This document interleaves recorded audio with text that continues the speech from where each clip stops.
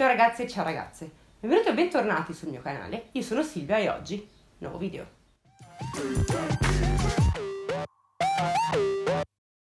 Ragazzi, questa è una storia unica nel suo genere ed ho deciso di portarvela perché anche in questo caso siamo in Italia. Questa è la storia di una donna, prigioniera delle sue passioni, ma anche degli uomini. In particolare questa storia ha come protagonista una donna bellissima e un uomo che tutti credono il suo amante e invece è suo marito. E poi c'è un altro uomo che tutti credono sia suo marito e invece è suo amante. Questa è la storia di Gigliola Guerinoni, nota anche come l'amantide di Cairo Montenotte. L'amantide religiosa, come saprete, è un animaletto alato che possiede un vizio bizzarro. È solita far fuori il maschio dopo l'accoppiamento ed è proprio per questo motivo che questo appellativo è finito appiccicato addosso a Gigliola Guerinoni. La donna in questione è molto bella, non ha certo pochi uomini a ronzarla attorno. Anzi, Gigliola ha la fila perché è una ragazza bionda, bellissima, con due occhi azzurri. Ma perché Gigliola è definita l'amantide? Viene anche definita la maga Circe della Valbormida, oppure ancora la dama bionda. E tutte queste definizioni gliele danno i media. Quando vengono a scoprire di un crimine di cui Gigliola è colpevole.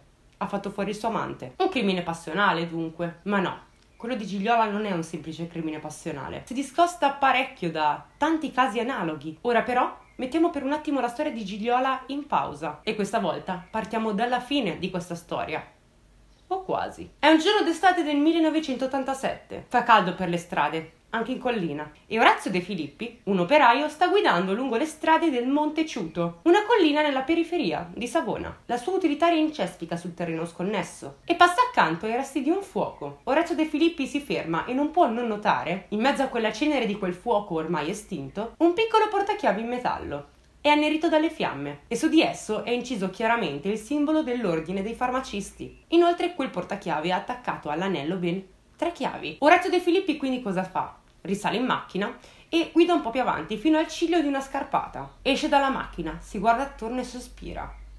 Ma c'è qualcosa che non va. Alle narici gli arriva un odore terribile, nauseabondo. Orazio inizialmente pensa che la causa sia una discarica che si trova non poco lontano, poi però abbassa lo sguardo verso la scarpata e nota che a metà di essa c'è un corpo arpionato ad un ramo che per puro caso ha bloccato la sua caduta verso il basso. Orazio quindi prende coraggio e scende piano piano la scarpata per verificare se quello che ha visto effettivamente non se l'ha immaginato e non è assolutamente frutto della sua fantasia. Orazio scende la scarpata, arriva vicino al corpo e capisce che no, non si è immaginato proprio niente. Orazio ci ha visto benissimo. La cosa peggiore di quel ritrovamento per Orazio però è il corpo. La sua faccia è stata colpita così tante volte da sembrare irriconoscibile. E se non fosse stato per quel portachiavi, quello che aveva notato Orazio con sopra inciso l'ordine dei farmacisti, forse gli inquirenti ci avrebbero messo molto di più a scoprire l'identità della vittima. Però, grazie a quel piccolo particolare, grazie a quelle chiavi, il corpo viene identificato. Si chiama Cesare Brin che nella Val Bormida, nell'entroterra di Savona, viene definito l'imperatore. Anche se a dirla tutta quel nome Cesare Brin non se lo sente più tanto addosso. E la gente ha smesso di definirlo tale quando la sua squadra di calcio, la Cairese, ha smesso di vincere. Per portarlo in Serie C, Cesare ha davvero speso una cospicua somma di denaro, circa un migliaio di lire, mandando totalmente in fumo i suoi risparmi di una vita. Alla fine, non solo aveva dovuto vendere la farmacia di famiglia, ma anche altre proprietà immobiliari. E qui sorge una domanda. La situazione poteva andare in modo peggiore per Cesare Brin? Ebbene sì, perché a seguito di tutte quelle sconfitte la tifoseria gli si è pure rivoltata contro. E in effetti ormai l'uomo ha la fama di essere un po' un attaccabrighe ed inoltre è risaputo, ha davvero numerosi debiti. In paese si dice che forse il Brin è stato vittima di una rissa finita male, forse per un debito, però qualcosa non torna. In quel crimine così efferato, così violento, c'è qualcosa che non va. Quel gesto tremendo è quasi un gesto personale. E poi, d'altro canto, non si colpisce qualcuno in quel modo per saldare un debito. La polizia appena arriva sul posto inizia a fare delle indagini e nota un particolare. Sulla testa di Cesare Brin c'è un buco e una parte di materia grigia non più grande di una noce non c'è, non si trova. Non è da nessuna parte. Questo perché quella materia grigia si trova dove il crimine è stato commesso e rimarrà lì per circa una settimana è nascosto sotto una scala di legno che porta al primo piano di una casa situata al centro di Cairo Montenotte, in provincia di Savona. La polizia scopre ben presto che una di quelle chiavi trovate sulla scena del crimine apre proprio la porta d'entrata di quella casa. Appena la polizia vi entra, scopre subito che le pareti sono state imbiancate da poco, c'è odore di vernice. Però la polizia, quando arriva nei pressi di un ripostiglio, non può non notare le macchie di sangue. Ebbene sì, Cesare Brini è venuto a mancare lì, in quella casa. Ma esattamente chi ci abita in quella casa? Beh, quella è la casa della gallerista del paese. Una donna di 41 anni, bellissima, bionda e dallo sguardo penetrante. Si chiama proprio Gigliola Guerinoni. Gigliola ha due passioni.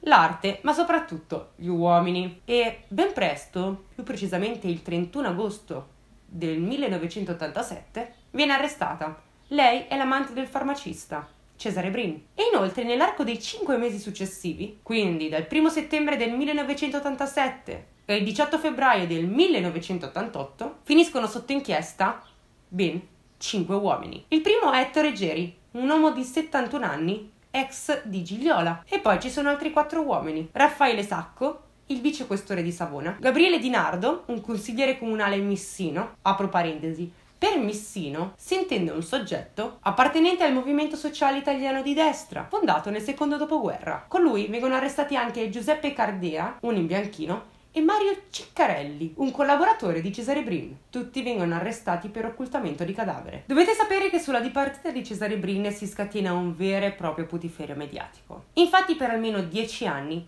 tutti i quotidiani italiani si occupano della vicenda e chiunque abbia avuto un ruolo anche solo marginale in questa storia si sente in diritto di intervenire e di dire la sua. E per quasi tutti questi interventi vengono cospicuamente remunerati. E allora tutti a parlare di lei, di Gigliola Guerinoni, quella donna che con gli anni i media hanno definito in tanti modi, libertina, mantide, dama bionda, ma in realtà chi era Gigliola Guerinoni? Ci troviamo sempre a Cairo Montenotte, che è un paese alle porte di Savona. E quando nasce Gigliola, il 23 febbraio del 1945, è finalmente giunta la fine della guerra. È figlia di Abramo Guerinoni e Maria Oddera, che le danno il nome di Anna Maria inizialmente. Ben presto però quel nome, Anna Maria lo cambia in Gigliola. In gioventù Gigliola inizia a fare da assistente presso il Brefotrofio, ossia un istituto che accoglie neonati illegittimi, abbandonati o ancora in pericolo di abbandono. Si distingue dall'orfanatrofio, oggi casa famiglia, perché quella è una struttura che accoglie ed educa bambini orfani, minori abbandonati o maltrattati dai genitori, non neonati a differenza del Brefotrofio. Dopodiché Gigliola va a fare l'infermiera a Savona e arrivata ai suoi 19 anni sposa un uomo Pietro Barillani, da cui ha due figli, Alex e Fabio. Il punto è che a Gigliola la vita coniugale non la soddisfa. Di fatto è e sarà sempre una madre premurosa. Però l'affetto dei figli e del marito non le basta. Gigliola non è una donna che si accontenta, vuole di più, vuole qualcos'altro e, per raggiungere i suoi scopi, usa la sua bellezza. In effetti, Gigliola fin da piccola si rende conto come la guardano gli uomini. Quegli sguardi, quando era piccola, la mettevano in imbarazzo. E Gigliola non faceva nient'altro che abbassare gli occhi imbarazzata. Però arriva un giorno, un giorno in cui Gigliola quegli occhi non li abbassa più e si rende conto che piano piano quegli sguardi non la mettono affatto in imbarazzo. Anzi, Gigliola capisce che gli uomini benestanti sono porte di accesso per altre vite, altre opportunità. E quindi Ovvio, il tradimento è inevitabile. Pare che in realtà il primo tradimento di Gigliola sia avvenuto con il primario della clinica per cui lavora, anche lui è un missino. E Gigliola lo chiama per cognome, il dottor Ballerga. Lei ha 24 anni e lui 48. Gigliola si trova nel suo studio in quanto deve fare degli esami. Ma gli esami quel giorno non saranno fatti assolutamente perché Gigliola e il medico fanno le cose birichine. Il primo amante di Gigliola, però, viene a mancare pochi mesi dopo in un incidente d'auto. E non molti mesi più tardi, Gigliola incontra un altro uomo, Ettore Geri. Anche lui più grande di lei di ben 27 anni. Ettore nella vita non si può di certo descrivere come un uomo di successo, ma ha un buon carattere e per di più ama la pittura. Ed è proprio per questo che Gigliola in lui non trova solo un uomo con cui fare le cose birichine, ma anche un compagno, qualcuno con cui condividere le sue passioni. Un giorno Gigliola gli fa una confessione, gli racconta il suo sogno più grande. Aprire una galleria d'arte a Cairo Montenotte, il suo paese di nascita. Ettore è profondamente innamorato di Gigliola, quindi le dà un'opportunità. Lascia la moglie, Laura Tobia, con sua figlia Giovanna, lascia il lavoro e con i soldi della liquidazione nel 1973 apre proprio una galleria d'arte per Gigliola, a Cairo Montenotte per l'appunto. La galleria si trova al centro del paese, è un bel edificio, ha due piani. A piano terra ci sono gli spazi espositivi, mentre al piano di sopra c'è un appartamento molto luminoso ed è lì che vivono Ettore e Gigliola. Siamo più o meno a metà degli anni 70 e finalmente per la galleria arriva il giorno dell'inaugurazione. Quella sera, a quell'inaugurazione, ci sono chiaramente dei personaggi chiave per la nostra storia. Il primo è Raffaele Sacco, il vicequestore di Savona, col quale, peraltro, Gigliola ha avuto una breve relazione. L'uomo vanta origini aristocratiche e il suo abbigliamento eccentrico rende palese il fatto che voglia distinguersi dalla gente comune. Sta chiacchierando del più e del meno, probabilmente vantandosi di qualche sua conoscenza. Ad ascoltarlo c'è sicuramente Giuseppe Cardena, che usano chiamare Chechè perché tartaglia, e Gabriele Di Nardo, anche lui missino. Gigliola flirta con loro e viene notata da Ettore. Sicuramente. Però l'uomo non dice nulla e se ne va ben presto dall'inaugurazione, risalendo a casa da solo. Aveva avuto modo di rendersi conto che la relazione con Gigliola non era propriamente esclusiva. Quelli per Gigliola sono anni felici. Ha una bella posizione e in effetti inizia a frequentare circoli che prima le erano preclusi. Poi arriva il 2 dicembre del 1974 e Gigliola mette al mondo una figlia, Soraya. Quando nasce la bambina, Gigliola ha un nuovo moto di ribellione, perché lei non vuole stare incastrata in una vita familiare con il solo e unico ruolo di madre. Solo quell'idea terrorizza Gigliola. Arriva poi una sera del febbraio 1975 e Gigliola lo dice chiaro e tondo ad Ettore. Lei si considera ancora una donna libera e per sottolineare la cosa decide anche di abbandonare il letto con cui dorme col compagno per trasferirsi in un'altra stanza. Ettore a quel punto lo capisce. Gigliola non vuole essere imbrigliata e da quel momento in poi si accontenterà di prendere quello che può avere. Damante quindi diventa complice di Gigliola e quando non potrà neanche più essere suo complice, inizierà a rilegarsi totalmente nel ruolo di padre. Tanto che anche Gigliola inizia a chiamarlo papà e stiamo parlando della donna con cui ha messo al mondo una figlia. Poi però arriva una sera ed Ettore, rimasto solo nella sua stanza, si alza, si dirige verso il comodino, apre il primo cassetto e prende una scatola. Nella scatola c'è un pendolino di cristallo e delle candele nere e poi ci sono numerose fotografie, tutte raffiguranti uomini, però quei ritratti hanno qualcosa che non va sono grotteschi e inquietanti. Questo perché hanno gli occhi anneriti da delle bruciature di sigarette. Ma in queste foto si possono tranquillamente identificare i volti di Raffaele Sacco, di Gabriele Di Nardo e di tanti tanti altri. Quella è la lista di tutti gli uomini che Gigliola ha avuto. Per chi non l'avesse compreso, quella scatola di Ettore contiene tutto ciò che serve per fare fatture, mandare il malocchio, insomma. Ed Ettore Geri, mentre accende una candela iniziando a fare chissà che maleficio, sussurra Qui ci hai costretto tu, Gigliola. Proprio tu. Ma col tempo la collezione di fotografie inquietanti di Ettore si arricchisce di un nuovo pezzo. Non è neanche passato un mese dal trasferimento di Gigliola di camera e ben presto piomba in casa un altro uomo, Pino Gustini, un geometra e un discreto pittore di provincia, con, peraltro, un gran gusto per l'arredamento. Pino è un uomo savonese e ha iniziato da poco a frequentare la galleria di Gigliola. È sposato con Fiammetta Martini, ma anche lui non ci mette molto a lasciare la moglie per andare a vivere con Gigliola, Ettore e la figlia, in quanto in brevissimo tempo tra lui e Gigliola scoppia un'intesa incredibile. Ettore borbotta per la scelta e finalmente si dimostra geloso, ma Gigliola lo rabbonisce immediatamente dicendogli è diabetico. Anche volendo non riuscirebbe a fare le cose birichine. Ed è proprio in questo modo che inizia questa folle convivenza, se non fosse che Gigliola Pino Gustini lo sposa nel 1979 in gran segreto. Di conseguenza, Pino Gustini è diventato suo marito, mentre Ettore è diventato il suo amante, nonostante ci abbia avuto assieme una figlia. Ma, nonostante la situazione un po' strana e ambigua, passano dieci anni e in questi anni Gigliola pare abbia trovato la pace, il suo posto felice, la sua vita va bene e funziona in quel modo, seppur assurdo e per certi versi scandaloso, anche se, alla fine, quella strana relazione viene addirittura accettata a Cairo Montenotte, in paese, fino a quando non arriva un giorno. È l'11 dicembre del 1986 e Pino viene a mancare a causa del diabete. Ha soli 52 anni. Quella sera Gigliola non si vede, non torna a casa e nessuno riesce a trovarla. Ettore e la figlia Soraya sono preoccupatissimi, mentre in paese qualche voce maligna sussurra che si starà già consolando in compagnia di qualcun altro, Gigliola. Ma la realtà è molto diversa, in quanto in un cimitero lì vicino si può sentire un pianto disperato, il pianto di una donna. È Gigliola che piange disperata nella camera mortuaria sulla bara di Pino Gustini. Questa cosa la possiamo sapere perché il custode del cimitero ritrova Gigliola quasi assiderata sulla bara di Pino. Ed è in questo caso che in paese scoppia lo scandalo, perché tutti erano convinti che Gigliola fosse sposata con Ettore e che Pino fosse il suo amante. Ma è esattamente il contrario. Gigliola decide di tumulare Pino nel cimitero dei Porri, sulle alture di Dego. Ma dopo la dipartita di Pino, a rimetterci non è solo Gigliola. Ettore è l'uomo che per dieci anni è riuscito a mantenere quell'equilibrio e quel compromesso per stare a fianco alla madre di sua figlia. È proprio questo squilibrio che fa cambiare Gigliola, che torna ad avere la brama di volere accanto qualcun altro. Gigliola ora vive questo bisogno con prepotenza, anche a seguito della dipartita di Pino, quindi potremmo definirla anche più libertina di quanto non lo fosse prima.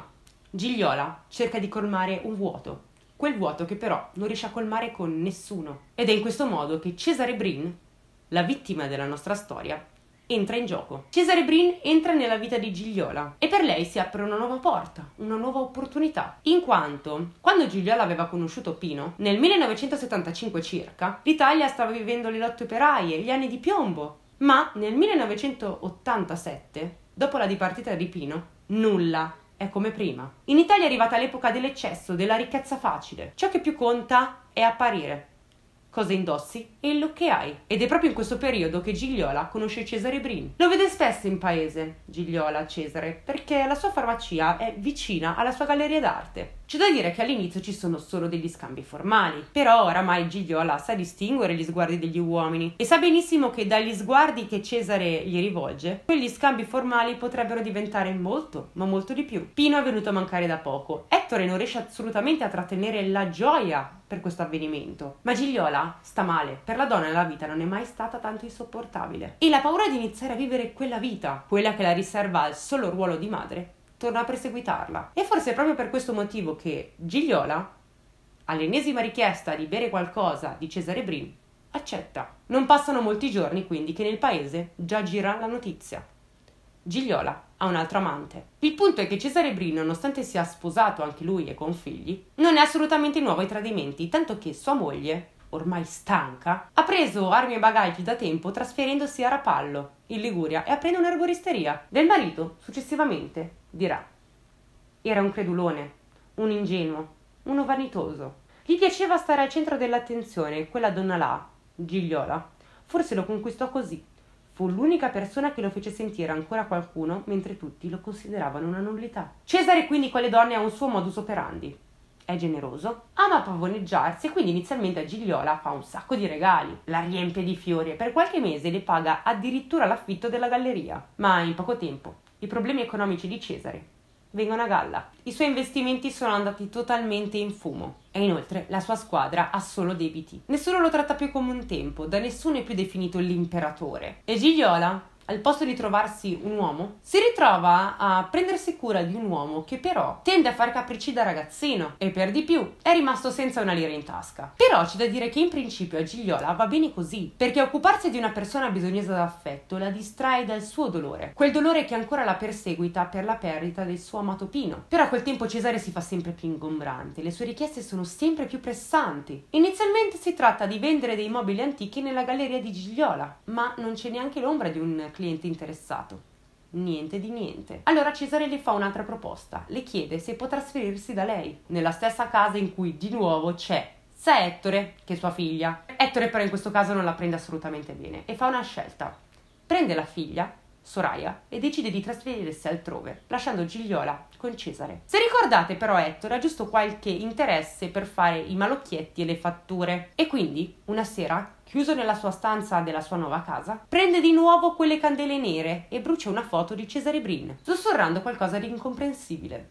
E Soraya, la figlia che per l'appunto abita con lui, dallo stipite della porta vede la scena e non riesce assolutamente a togliere lo sguardo da quella fiamma, quella fiamma che sta bruciando una fotografia che raffigura Cesare Brin. Ettore però non sa che le sorprese non sono finite lì. Infatti ben presto Gigliola rimane incinta. Sicuramente Cesare Brin fa già progetti, immaginando la loro fantastica vita assieme, ma quel bambino non nascerà mai perché purtroppo Gigliola ha un aborto spontaneo in casa. Cesare Brin quindi è totalmente sconvolto e onestamente fa una cosa che ha sconvolto me. Scende di casa, va in tutta fretta nella sua farmacia, prende un barattolo e lo riempie di formalina. Poi ci immerge dentro il feto e lo tiene in uno scaffale chiuso nell'armadio, perché in questo modo Cesare Brin, la famiglia che voleva, l'ha ottenuta davvero in un modo totalmente folle, però l'ha ottenuta. Insomma, io direi che è tutto alquanto inquietante. Cioè, anche pensandoci un minimo razionalmente, ma come ti viene in mente di fare una cosa del genere? Ma stai vicino alla tua compagna, no? Io non capisco, davvero.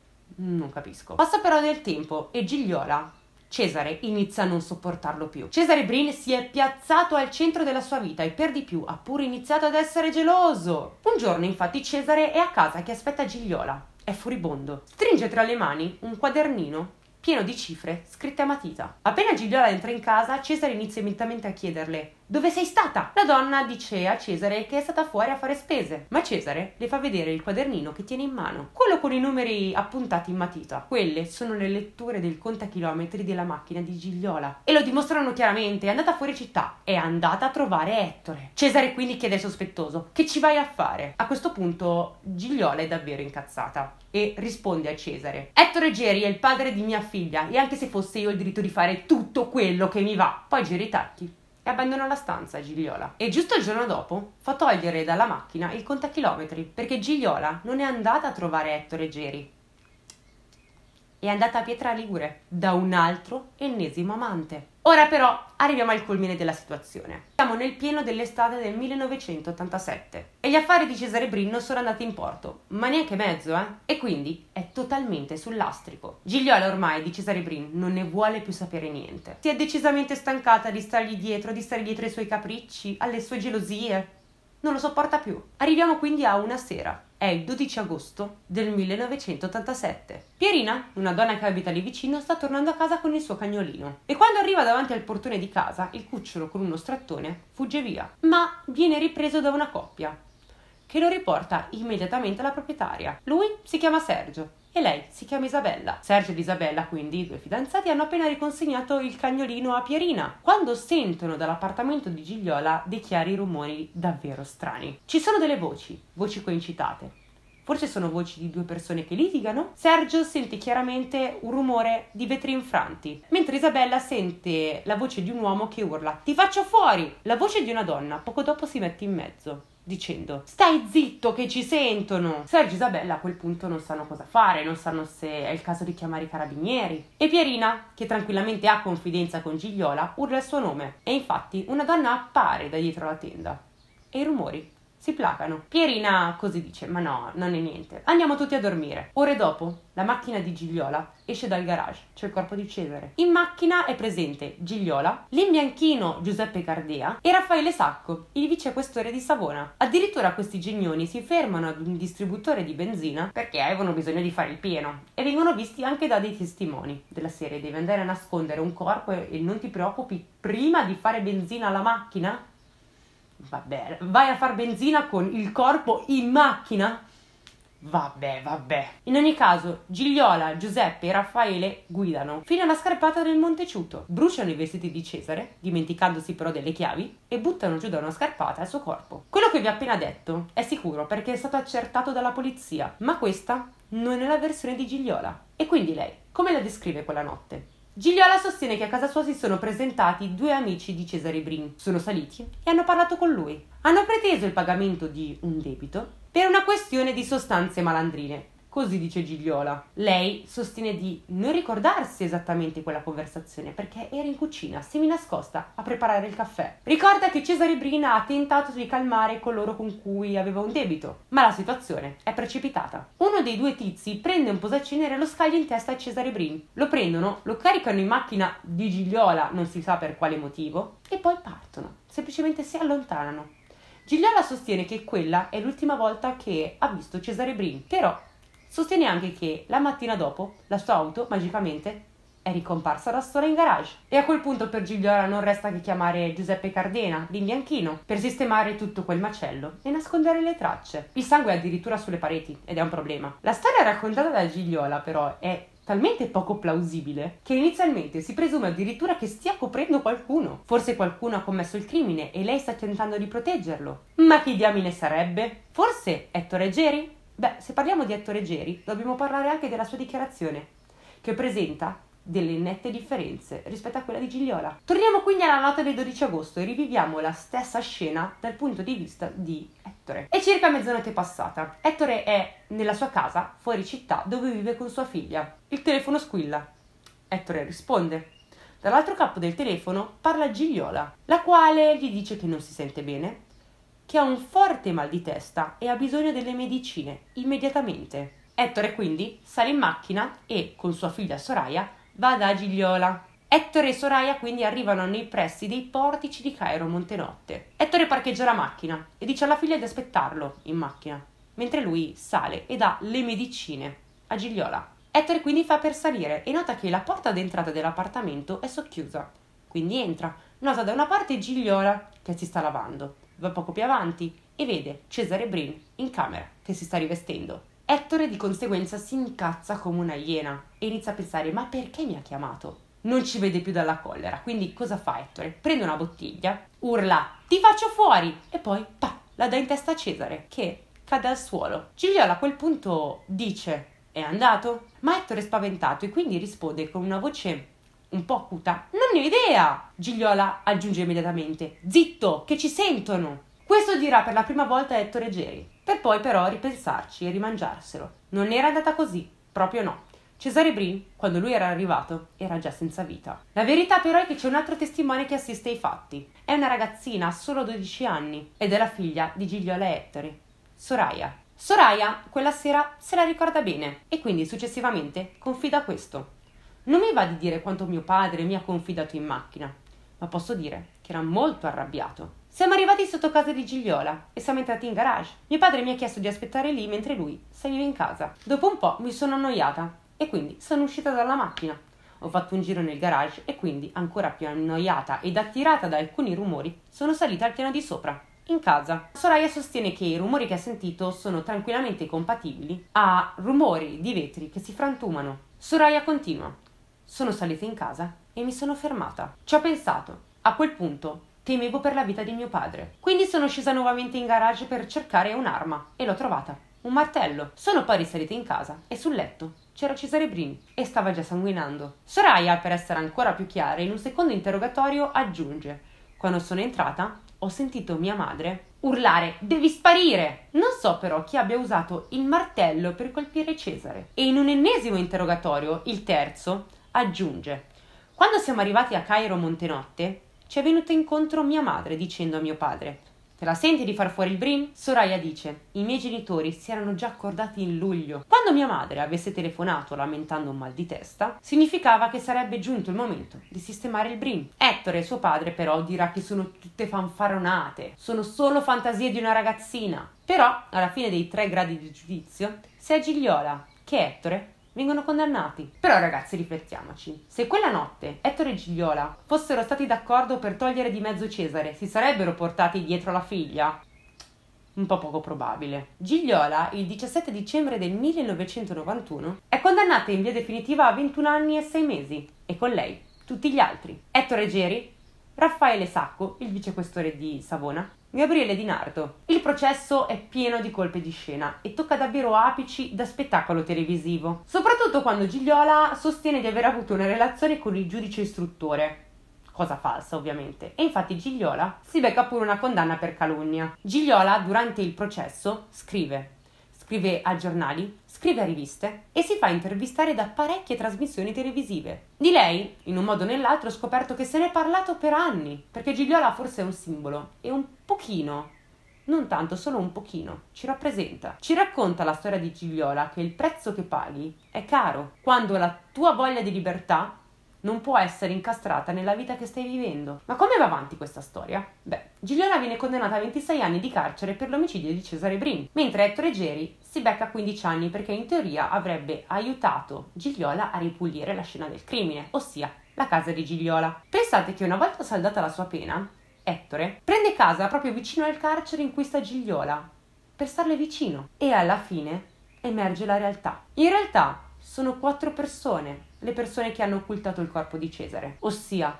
Raffaele Sacco, Gabriele Di Nardo, Lin Bianchino Giuseppe Cardea e infine c'è anche un certo Marco Ricciarelli, il socio di Cesare.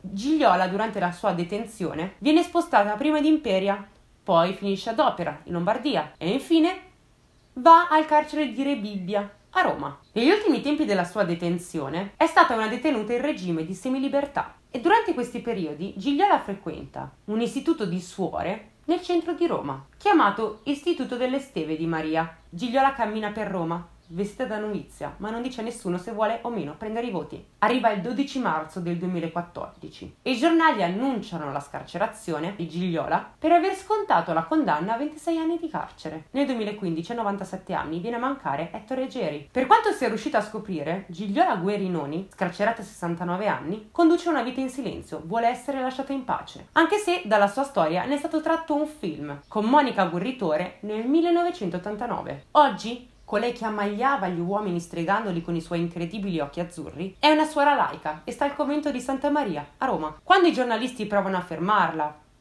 lei ripete sempre la stessa cosa, ossia non fate più il mio nome. In questi anni sono state dette troppe bugie, troppe falsità. La figlia di Gigliola, invece, Soraya, è rimasta a Savona e ha aperto un negozio di abbigliamento femminile. Detto questo, ragazzi, questa era la storia di Gigliola Guerinoni, una donna secondo me molto molto particolare.